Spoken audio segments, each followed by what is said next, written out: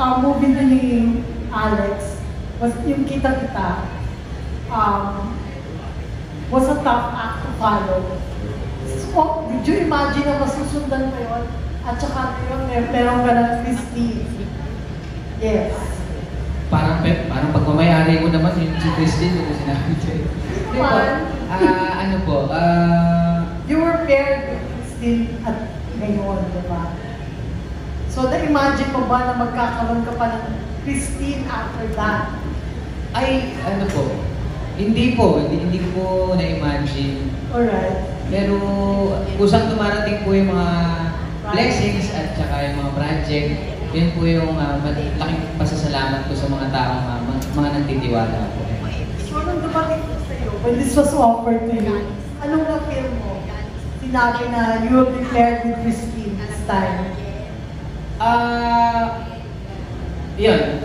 Totoo naman, kinilig po ako at saka nung time pa lang po na sinabi sa akin na magkakasama kami sa work, nag-toothbrush na ako na ng todo.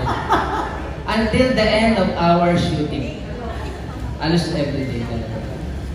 Once a day lang ako mag-toothbrush talaga, pero nung nagsama tayo, mga 8 times. Fresh breath talaga yan. Kaya pag naging endorser yan ng toothpaste, maniniwala talaga ako.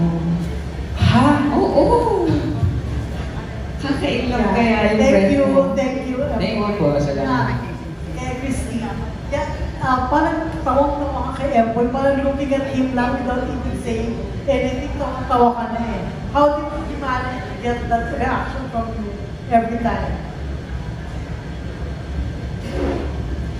Um, yun nga po, going back, 2008, meron na kaming connection, and then,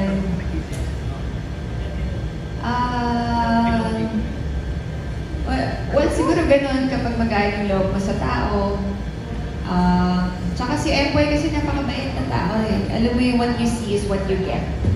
Um, wala, kahit pagod na yan.